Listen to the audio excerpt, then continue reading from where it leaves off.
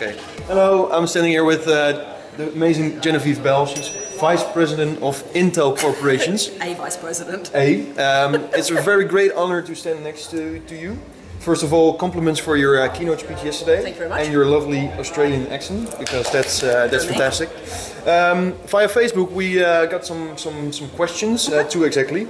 Uh, we start first of all with the um, with the one of uh, cheat and read them. yeah of Job Klinkhammer. He said uh, on Facebook. Uh, Hi Genevieve, if algorithms won't show us how to leave our own internet bubble, so change current algorithms, what will? So I think there are kind of there are two answers to that, right? One is that I actually think there is virtue in imagining we should write new algorithms. So you know maybe the current ones don't help. We should imagine what new ones might be that do that.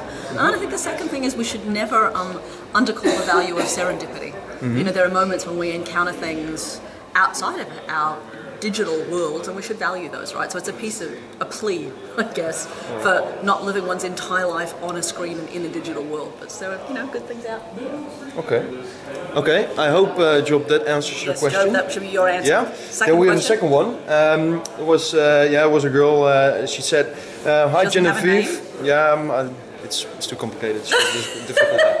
but um, Terrible answer. terrible answer. Sorry, sorry for that.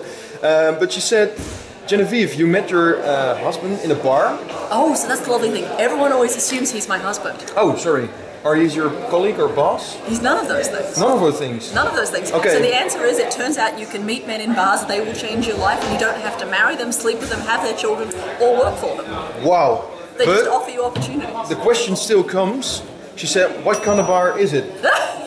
Because I want to go there because she's working at Intel. So Ah, what? So the sad thing is that bar is long ago gone. It was called Pearls. It was on Ramona Street in Palo Alto, and it's been replaced now by a sports bar that is nowhere near so interesting. Oh, ships. I know, sad. So can, can you give the the watchers uh, or this lady with the question What the advice is? a tip? So, To- or what kind Well, what kind of so- bar do they go to? No, I don't think it's about going to bars. I think it's about the attitude you should have in life, right? And for me, it was about how do you say yes to as many opportunities as you can rather than saying no to them because they're outside of your comfort zone. Okay. Wow. And then uh, last but not least, Media Future Week. Um, describe it in five words. Media Future Week is fun. Okay. Say hello. Oh, Hello. give me a high five. I high five too. Later. Bye-bye. Bye.